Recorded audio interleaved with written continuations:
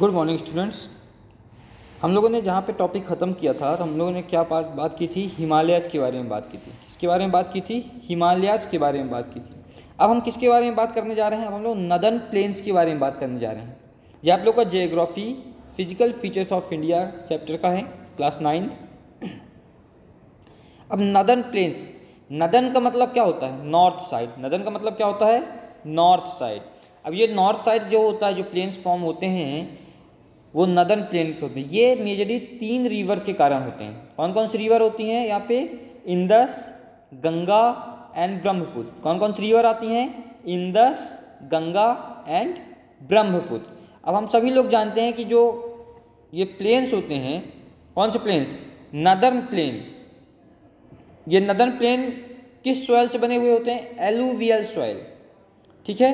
तो डिपोजिशन जो alluvial soil होता है इसका जो डिपोजिशन होता है, ये ओवर मिलियंस ऑफ़ ईयर्स में होता है। किस किसमें होता है? मिलियंस ऑफ़ ईयर्स में होता है। और ये फर्टाइल प्लेन कहलाते हैं। कैसे प्लेन कहलाते हैं ये? फर्टाइल प्लेन भी कहलाते हैं। बहुत बहुत फर्टाइल फर्टिलिटी इनमें बहुत ज़्यादा होती है। क्यों फर्टिलिटी बहुत ज़्यादा होती है? क्योंकि जो रिवर्स के कारण बनते हैं। किसके कारण बनते हैं? रिवर्स के कारण बनते हैं। रिवर्स के कारण बनने के कारण ये है, जो रिवर्स होती है, वो फ्लो करती है। जब फ्लो करती है तो जो सॉयल होती है सॉयल का अपर पार्ट क्या करती है, वो बहा ले जाती है। कहीं पे बाढ़ वाढ़ आए तो क्या होती है रिवर वो क्या करती है, उसको बहा ले जाती है। जब बहा ले जाती है, जहाँ पे इकट्ठा करेगी, वहाँ पे क्या हो तो फर्टिलिटी फर्टाइल लैंड ही इकट्ठा हो रही है। कौन सी लैंड इकट्ठा हो रही है? फर्टाइल लैंड इकट्ठा हो रही है। बात समझ में आई आप लोग को? तो जो प्लेन बनेगा, वो कैसा बनेगा? फर्टाइल ही बनेगा, क्योंकि वहाँ पे फर्टाइल लैंड ही, जो फर्टाइल लैंड का अपर पार्ट होता है अपर लेयर ही फर्टिलिटी होती है। मैक्सिमम सॉयल में क्या होती है अपर लेयर ही फर्टिलिटी होती है। अपर लेयर में जो फर्टिलिटी होती है, उसको तो बहा ले गया। कौन बहा ले गया? रिवर का वाटर अब ये जहाँ पे उसको रिलीज़ करेगा, जहाँ पे उसको रिलीज़ करेगा, वहाँ पे क्या बनाएगा? प्लेन्स बनाएगा। क्या बनाएगा? प्लेन्स बनाएगा। अब जहाँ पे ये प्लेन बनाएँगे, वो प्लेन भी कैसा होगा? फर्टाइल होगा। कैसा होगा? फर्टाइल होगा। अब ये जो प्लेन्स बनते हैं, इनका जो एरिया होता है अप्रॉक्स कितना होता है? सेवन लैख स्क्वायर किलोमीटर कितना होता है? Seven lakh square kilometre approx होता है। जो इनका एरिया होता है, वो कितना होता है? सेवन लैख स्क्वायर किलोमीटर के अप्रॉक्स होता है। The plain being about two thousand four hundred kilometre long. ये जो प्लेन होती है, इसकी जो लेंथ होती है, वो कितनी हो सकती है? Two thousand four hundred kilometre long. कितनी रेंज हो सकती लॉन्ग हो सकते हैं ये? कितनी लंबाई हो सकती है इनकी? Two thousand four hundred kilometre. Two thousand four hundred kilometre. बहुत ज़्यादा होता है। यहाँ पे आप लोग ध्यान दीजिएगा two hundred forty kilometre long लिखा है। Two hundred forty kilometre long नहीं होता, ये थोड़ा सा मुझसे मिस्टेक हो गई है। Two thousand four hundred kilometre long होता है। कितना होता है? Two thousand four hundred kilometre long यहाँ पे एक ज़ीरो और लगा लीजिएगा। कितना होगा ये?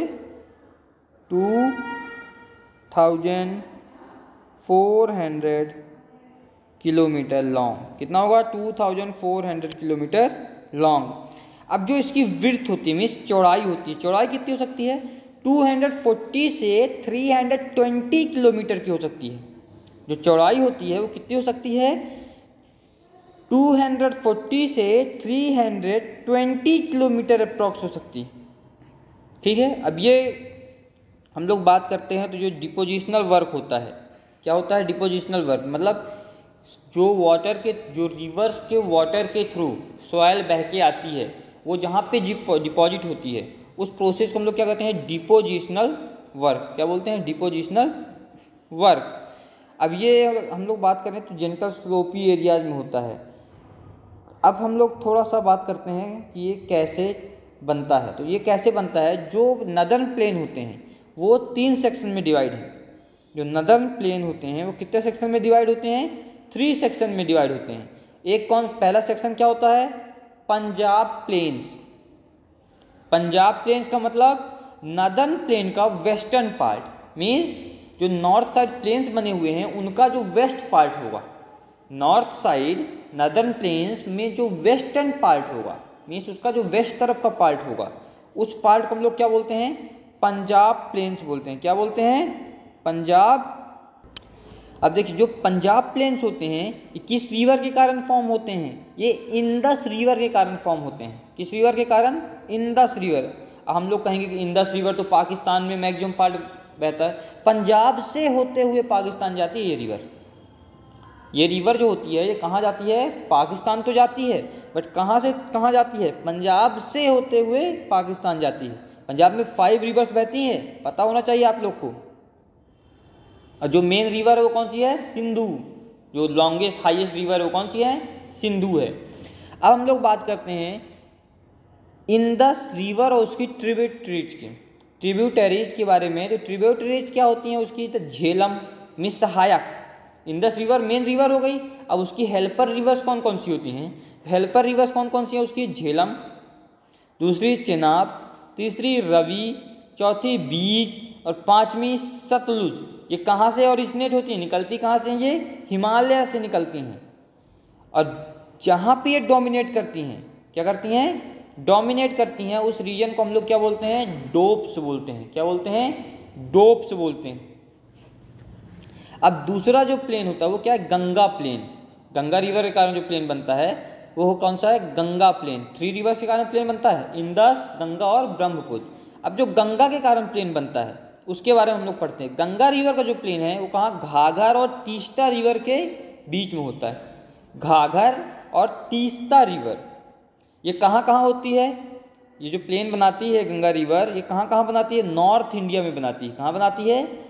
North India. North India Haryana, Delhi, UP, Bihar partly Jharkhand. मतलब कुछ रीजन झारखंड के भी आप इंक्लूड कर सकते हो। कहाँ कहाँ आती है ये? नॉर्थ इंडिया रिवर मतलब नॉर्थ इंडिया में मतलब नॉर्थ साइड में हिमालय के नीचे, जो नॉर्थ तरफ़ के भी पार्ट हैं। फिर थोड़ा सा आगे बढ़ते हैं हम लोग तो हरियाणा में भी बनाती है, फिर दिल्ली में बनाती है, फिर यूपी में भी बनाती है, फिर बिहार, फिर पार्टली झारखंड मतलब झारखंड के कुछ रीजन को इंक्लूड करती है। West Bengal to the east Assam अब ईस्ट आसाम की बात कर रहे हैं तो वेस्ट बंगाल से ईस्ट आसाम की तरफ़। तो वेस्ट बंगाल से ईस्ट आसाम की तरफ़ की बात कर रहे हैं तो वहाँ पे कौन सी प्लेन आ जाएगी? ब्रह्मपुत्र प्लेन क्योंकि हमें पता है ब्रह्मपुत्र कहाँ पे आती है? आसाम, अरुणाचल प्रदेश से होते हुए आसाम निकलती है। कहाँ? अरुणाचल प्रदेश से होते हुए आसाम निकलती है। तो ब्रह्मपुत्र प्लेन वहाँ पे आता है। कौन सा प्लेन आता है? ब्रह्मपुत्र प्लेन आता है। ये बात आप लोग को समझ में आई?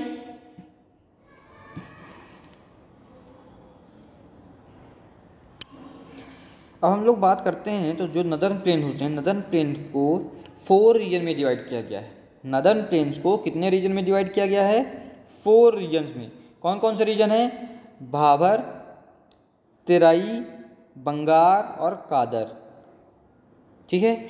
अगर हम लोग भावर की बात करें तो भावर कहाँ पे आता है? आप लोग को शिवालिक हिमालय के बारे में कल पिछली वीडियोज़ में बताया गया था, शिवालिक हिमालय।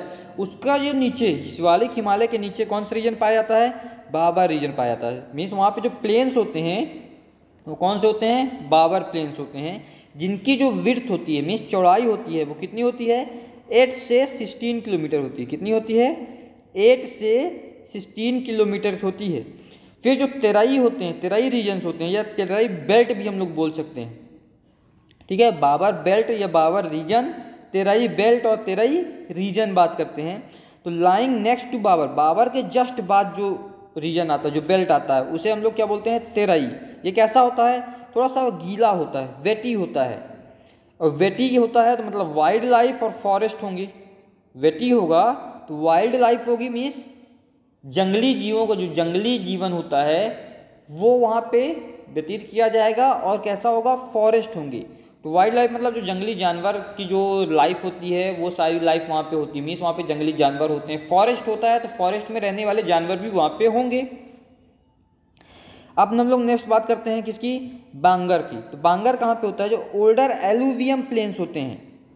एलुवियम प्लेन्स जो होते हैं मीन्स एलुवियल सॉयल जो पहले पुराने प्लेन्स होते हैं, वहाँ पे क्या होता है? एक फ्लड प्लेन लेवल आता है। क्या आता है? एक फ्लड प्लेन का लेवल आता है। मीन्स जो फ्लड के कारण जो मिट्टी बह के आती है और एक प्लेन फॉर्म करती है, वो जो रीजन होता है, उसे हम लोग क्या बोलते हैं? बंगर बेल्ट बोलते हैं। क्या बोलते हैं? बैंगर बेल्ट बोलते हैं या रीजन बोलते हैं। फिर खादर जो होता है, वो यंगर होता है। यंगर मतलब जो नया नया फॉर्म किया है। ऐसी एलुबियम प्लेन्स ऐसे फ्लड प्लेन्स जो अभी ये जस्ट फॉर्म किए गए हों।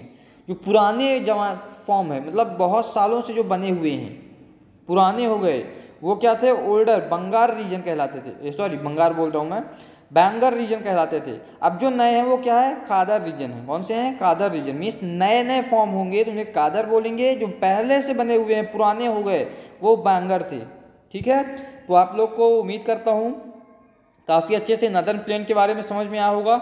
जो हमारा नेक्स्ट वीडियो आएगा, वो किसके बारे में होगा? नेक्स्ट वीडियो हमारा पेनिनसुलर प्लेट्यूज के बारे में होगा। किसके बारे में होगा? पेनिनसुलर प्लेट्यूज के बारे में होगा। ठीक है? Okay, students. Thank you.